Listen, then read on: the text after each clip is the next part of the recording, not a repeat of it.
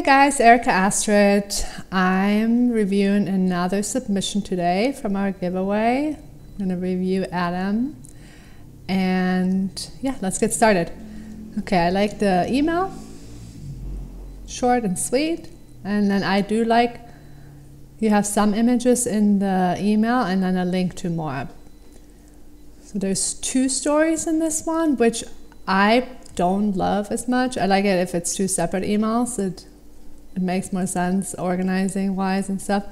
I like these images. The colors are really pretty. This shot, the lips, oh my god, so good.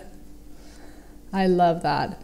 So let's just look at these first. So I like it, but it doesn't really work for Kunst that well. It's a little too lifestyley, or like it could be something. I could even see this somewhere in Marie Claire or something, which that's really cool.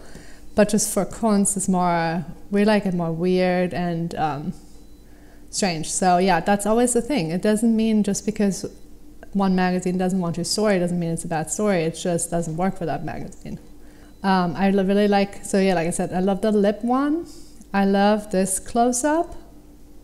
Really good. I love the lighting. It's really pretty on this one.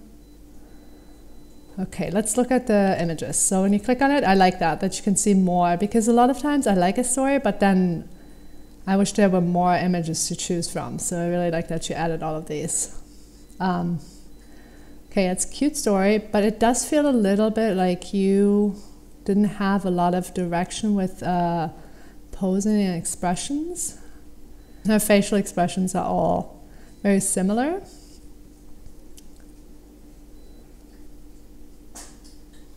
Yeah.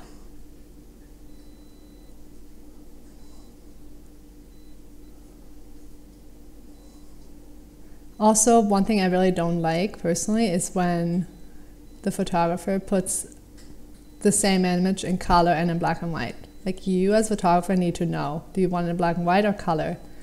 It's like almost like you're not confident in your choice. So that's really important, I feel like, to know.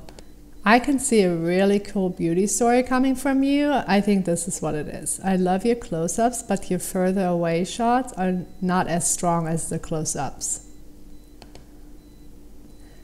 Yeah, so just it's very flat. She's just standing there holding onto the pole. There's not really, that's the thing, there's not really a story here.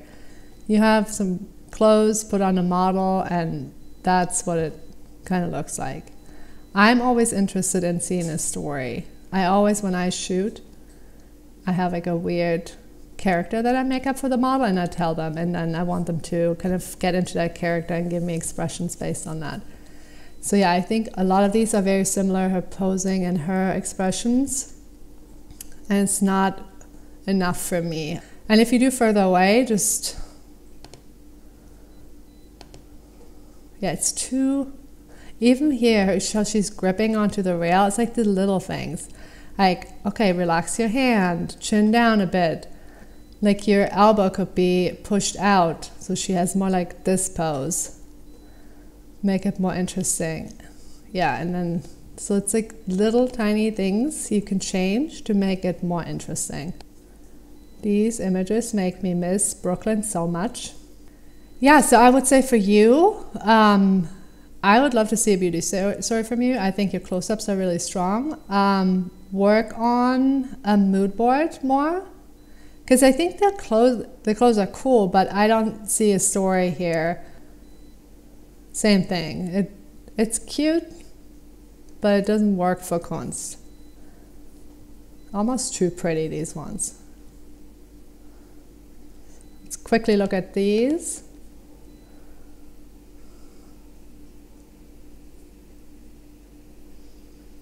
Yeah, going through these, um, and there are almost too many images. I like that I, that you sent more to choose from, but there's too many, too many that are too similar. Like you have to really.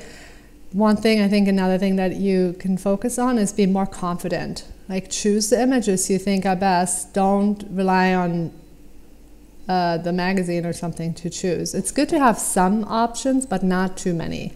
So there's always like an in between. And same with, with her, like a lot of her poses and expressions are the same.